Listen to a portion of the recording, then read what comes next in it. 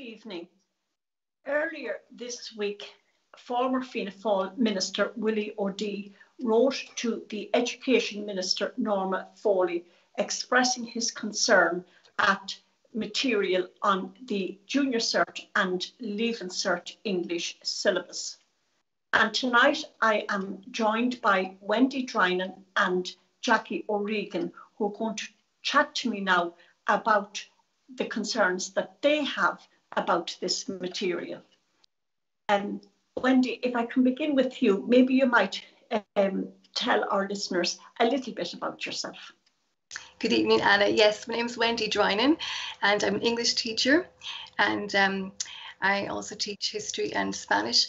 Um, so I've been concerned about um, you know what, what I've seen happening in the English curriculum over the last while. And in January 2020, I was teaching in a school, and I had the opportunity at that point to um, review the prescribed list um, and pick some new material for my junior certs, which I hadn't done for a while. So, you know, I was looking through, and then I started to research the material on the list, and that's when I became very concerned um, with a lot of the newer, more modern texts. So we're going to talk about that tonight.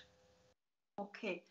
And Jackie, um, can you tell our listeners a little bit about your background?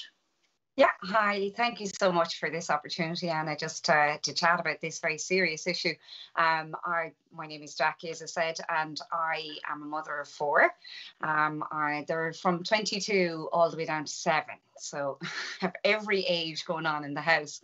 And um, I suppose my background is uh, currently for the last five years, I'm in and out of schools um, teaching internet safety.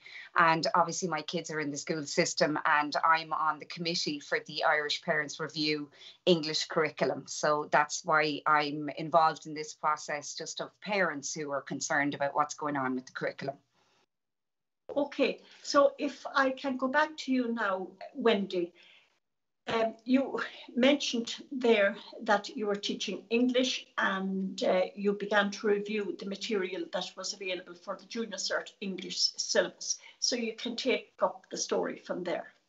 Okay, yes. So, um, yeah, and uh, I began to get concerned at some of the content on the list. Um, so um, yeah, and I had to choose um, a film for my junior certs, and out of the list that was given from the NCCA, the prescribed list, which is the list um, which teachers must choose their materials from, um, I felt there were only two films that I could possibly really choose for them due to the obscene content in the other movies. So anyway, the problem, Anna, just to explain, really going back a few years, um, since 2014, when books like John Connolly's The Book of Lost Things and Darren Darren Shan's Cirque du Freak began appearing for the first time, that's when the selection of prescribed lists um, started gradually widening every few years since then to include more and more dark themed books that deal with topics like demonic possession, murder, suicide, and sexual violence in a violent, graphic, gratuitous way. And, you know, the scenes are very descriptive and detailed, and they're written in what can only be described as gratuitous. Um, so, you know, a gratuitous way. So, for any child who is not normally exposed to horror and violence and graphic sexual pornography, they are going to be potentially traumatized by this new material being introduced in the classroom under the guise of a relevant new curriculum. Um, the sexual scenes are very graphic in many of the newer texts, and the message messages that students are getting from some of these texts is that it's normal and good um, if they as minors um, engage in as much promiscuous, uh, promiscuous sexual activity as possible. Um, like, for example, there are five texts I can think of um, in which minors are engaging in sexual encounters and activity with older adults. So, you know, we're talking about material that's been introduced to minors in the classroom. And just to clarify, we're not about censorship. I don't agree with censorship, and neither is um, you know, Irish parents reviewing this curriculum, they're not about censorship either. We're talking about age appropriate material for minors in the classroom. So that's the problem that we're dealing with here. Um, so I can go on to mention some of these books if you want. Um, yes, please do. Okay, uh, just to name some briefly, um, and then we'll go into a couple in more detail. Um, the book called The Lauras by Sara Taylor, which we're going to talk about in a bit, that has an oral sex scene spanning five to six pages. It's extremely descriptive and graphic. Um, then we have uh, Louis Sachar's The Boy Who Lost His Face, which was a previously banned book in America and um, Britain from, from school libraries. We've got teenage boys there looking at photos of girls as young as nine years of age and describing that they, they're getting a kick out of it, and a few other uh, objectionable things in that book as well. Um, another book, if we have time, we're going to look at tonight, John Connolly's The Book of Lost Things. That is paedophilia and best, bestiality in that as well. Um, we have a, a, very recent new edition that came on in January and, on, the latest prescribed list that the NCCA has issued. Um, it's Where the Crawdads Sing. It's a very popular book in female reading groups all around the globe at the moment. But um, it, it, it's, in my opinion, it's like um, a literary Mills and Boon book, you know, but it contains pretty explicitly described sexual scenes, and some of which are between a 15 year old girl and an adult male. So, um, and uh, yeah, so I, talk about the Lauras. I think it, you might have a graphic there of the Lauras, maybe a picture of the book there. I'm going to talk about that a bit more now. I need to apologize in advance to the listeners. This is very disgusting, and I'm going to be saying offensive things here, but I'm going. It's important that parents know what your children are being exposed to in the classroom. So and um, this book is actually being taught in schools at the moment. I know of a couple of schools that are using it. In fact, one school in Dublin, when the dad heard about this, he went into the school and he emailed the school and they took it off the curriculum straight away.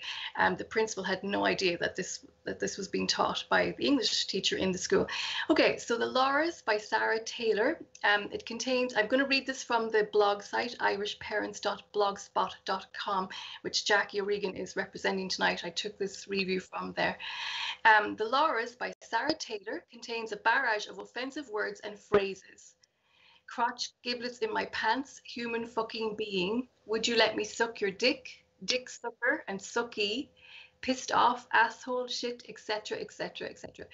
There are five descriptive scenes of and references to masturbation. There are several scenes of physical violence, drug use, and scenes set up in strip clubs and drag clubs where the minor in the story lets an adult, quote, dress me like a doll. Every chapter is infused with references to sexual acts or sexual thoughts and has no other obvious theme or redeeming merit for the classroom.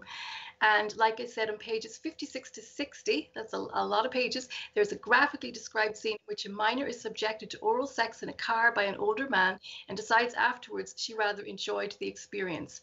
This scene is explicit, describes in detail the man's penis, which they call another rude term, and what he expects the girl to do with his penis, what she does to it with her mouth and tongue, what it felt and tasted like, etc., etc. So there are some, um, you know, on the blog site there were parental reactions to that, and you know, parents were just couldn't believe it. They were saying it's unbelievable that, that this has been selected, presumably by a teacher on the NCCA. Someone is pushing to sexualize our kids. Um, let's see what else they say here. Um, yeah, it's just, you know, they're very against it because that oral sex scene is not in any way saying that it's a bad thing. It's almost promoting it. It's seen as almost like the girl enjoyed it and it's interesting, a positive experience. So it is promotion of this. It's not, it's not a way of teaching kids this is wrong or anything. Um, so, well, I move on to another book here, The Handmaid's Tale. Um, Again, this is quite a shocking book as well, but this is an extremely popular choice that teachers are using in the classroom. And one of the reasons is it's quite a lazy reason. One of the reasons is because there are a lot of notes available on this because it's a very popular choice at third level. Um, and also the English curriculum has this on it and has had it on for a number of years. So the teachers like to, you know, use the notes. Anyway, Kate from Kerry, um, who uh, did a review of this book, she says this is a dystopian feminist tirade exploring and graphically describing sexual themes. Various scenes include rape, described as fucking, while the wife of the commander rapist participates vicariously in the rape, sex and violence are constantly linked, and the handmaiden, the sex slave in the story, often fantasizes in her head about murder and suicide. At the end of the book, a mob of women are encouraged to viciously attack and kill a man, and scenes in include a club where the protagonist is dressed up as a prostitute and talks with another prostitute while she considers the possibility of signing up herself. The book portrays men as useless except for sex and, and creating babies, and the mother daughter relationship is portrayed as very negative. And Kate says, I certainly do not want my daughter exposed to this kind of filth, and I don't see how this can possibly contribute to the mental health of the boys in our society either. Now, I'm going to read an excerpt from the book. This is very shocking. Prepare yourselves. I'm, I, I'm sorry to have to read this, but parents need to know. Okay, quote. Sometimes the movie she showed would be an old porno film from the 70s or 80s. Women kneeling, sucking penises or guns, women tied up or chained or with dog collars around their necks, women hanging from trees or upside down, naked with their legs held apart, women being raped, beaten up, killed. Once we had to watch a woman being slowly cut into pieces, her fingers and breasts snipped off with garden shears, her stomach slit open and her intestines pulled out. Phrases like getting laid, on all fours, spread your legs, the guards getting hard, looking at, at the, the girl, and much, much more. So um, it's quite shocking material. Yes, yes. Uh, I, I, I, I have to say that this is, to me, quite quite shocking. And um, I am a former English teacher. I'm retired since 2018, and um, so I, you know, none of that material was um, on the syllabus when I was teaching. And I'm listening to this and I'm saying to myself, is this really happening? Is this really on the syllabus? Um, I think maybe if we bring in Jackie now, um, and thank you, Wendi, for that. Uh, Jackie, I think you have more material, have you, that you'd like yeah. to discuss? I do, yes, Anna. And, um, you know, I really want to say that um, we're not just picking little bits and pieces you know it's not like a couple of lines or a paragraph um, and uh, what's fantastic about the review is that i know listen parents are busy i know what it's like i have four kids myself your your child's book is on the list you buy it you may never know what's in it this is fantastic because you can go on the irishparents.blogspot.com, see the, the book that your your daughter, your son is studying, and you can actually go and read the reviews. So what I'm actually reading is reviews that are done by parents, and they're reading the books and then they're saying, right, this is what's in the book. And really just parents were getting more and more concerned and started adding to the blogspot. There's a new one out now. Um, it's called The Big Sleep by Raymond Chandler. Um, and again, this has only just, just recently been added on. And it is, again, just I'm going to read directly from the blogspot.com. This is somebody who actually read the book and reviewed. Um, and you can see um, that it is a disturbing murder detective story. It contains various sexual scenes uh, in which the female who's called a femme fatale slut is naked. So again there's chapters 7 9 and 24 so this is spread throughout the book. She's drugged. She's being slapped. I slapped her around a little more. She didn't mind the slaps um, she's photographed while posing for a pornographic photo shoot in front of a pole containing a hidden camera by a bisexual man, Geiger, who organizes sex orgies and blackmails rich customers. He is also a buyer and seller of pornographic books.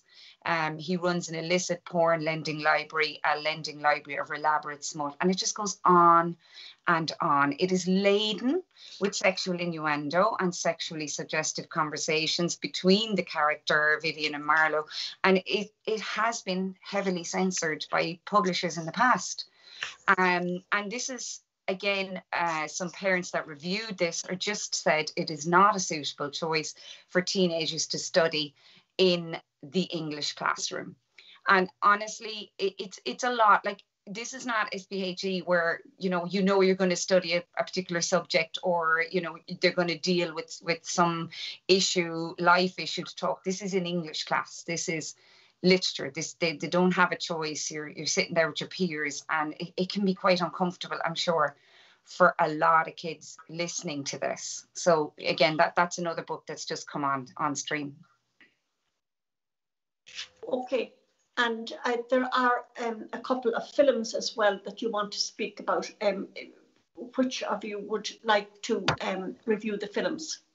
Yeah, I, I can come on there, Anna. There's the um, Winter's Bone, and uh, that's for the Leaving Cert. It's prescribed there, and it's by Debra Granik, and it's R rated. Um, and it's it's just again it's a it's a bleak menacing backdrop and the 17 year old female uh, Ree visits various people in turn who are either drug addicts offering drugs to a minor snorting cocaine. They're gory scenes. Again there's the violence in this animal skinning.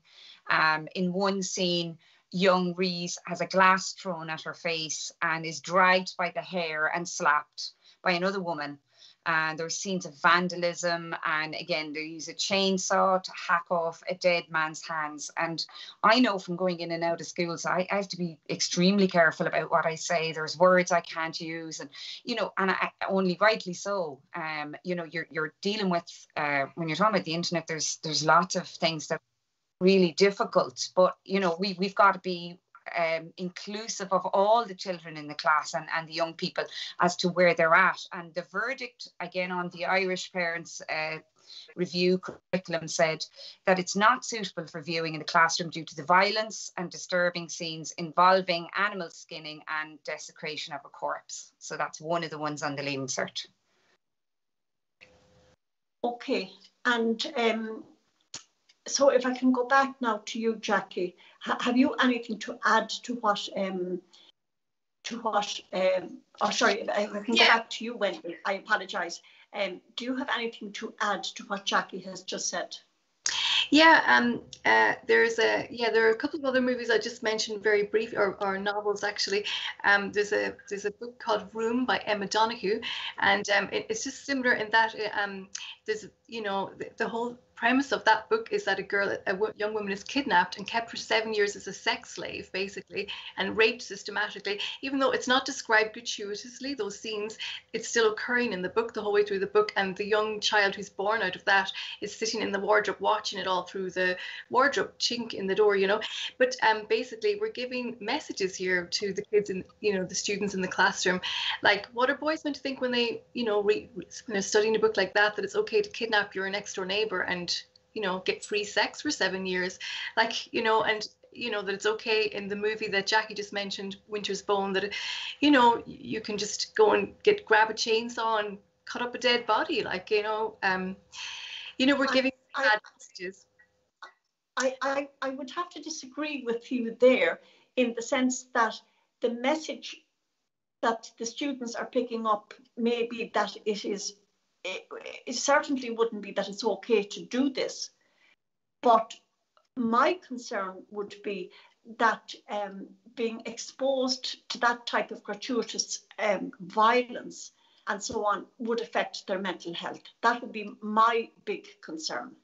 Absolutely, Anna. Yeah. Now, I, I have conducted a, a, comprehensive report on the curriculum, both the junior and the senior curriculum, and I, I, I, spent nine months writing an analytic report. I sent it to the Minister for Education, Norma Foley, on April 19th, and also 29 other TDs. So, um, and in that report, I, I do include a psychologist report and a psychotherapist report, and also um, some other, you know, reports that are relating to young people's mental health. And yeah, my quote a couple of things there. Um, the psychologist said that at this stage in their lives, uh, you know, young people lack the critical skills to differentiate between valid information and that which can be harmful and manipulative. So that's quite an interesting perspective, you know and that they're also like sponges and that they often attempt to act out what they're seeing you know because out of maybe uh, lack of self-esteem or just wanting to prove themselves. But if they're seeing and hearing things in the classroom as well, she made the point that they are going to, um, you know, they can justify it. They can say, well, it's part of the school curriculum. The teachers are teaching this, so it must be something to emulate, something to act out. So, okay. Good. So um, our, our time, unfortunately, um, ha has run out. Um, and I suppose the one thing that we have done tonight is to uh, raise awareness. I, am sure there are um, viewers watching in who have children in secondary school and they weren't aware that this was happening. So that um, at least now, the, the, you know, you you are creating awareness uh, and alerting parents to what it, to what is actually happening. So Wendi, if I could just go back to you now for a final word, what would you like to see happening? Okay, well, obviously, we want to see these books and movies removed. Like over 52% of the senior novels have this sexual gratuitous stuff in them. Um, and all the stats are there. If you want to look at the report, you can go to the, the blog site anyway. Parents, go to the blog site irishparents.blogspot.com.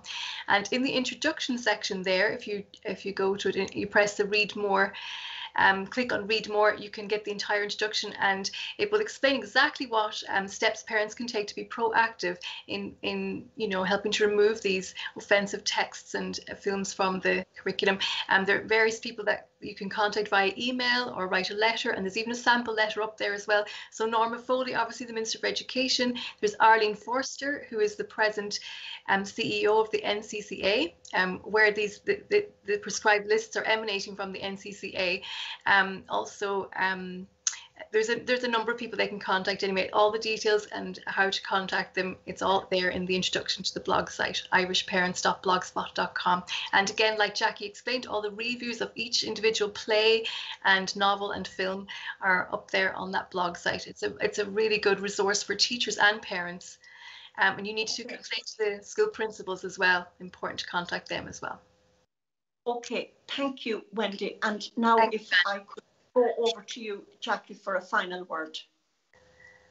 I really appreciate the opportunity, um, Anna, to, to highlight this issue and really pleading with parents to, to get involved. It's still um, in our Irish constitution that the parents are the primary educators and, you know, we need to get proactive about this and get involved and know what our children are learning and decide whether we are feel it's appropriate or not. And there's a very comprehensive, as Wendi said, review on all of the, the books more or less that are there. And again, it's also important that we suggest alternatives that we're not just saying, you know, here's a problem, but there are actually even some good alternatives um, because we do want, um, you know, peer learning is, is a really fantastic way to learn and to raise issues that are not always so dark themed.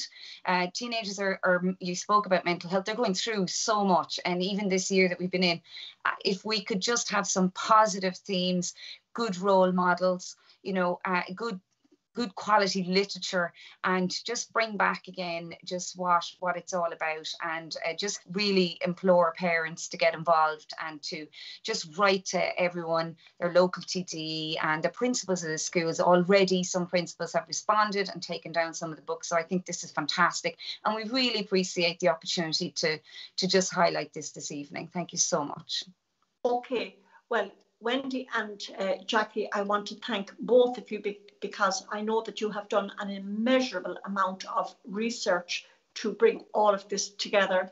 Um, and I know, Wendi, that you have um, spent nine months um, reading all of this material and writing up a review which you have circulated and you have your uh, you know a really really good website there and um, we'll put the link to that website in the description box that accompanies this video so that uh, uh, viewers can access it easily. So I want to thank both of you this evening.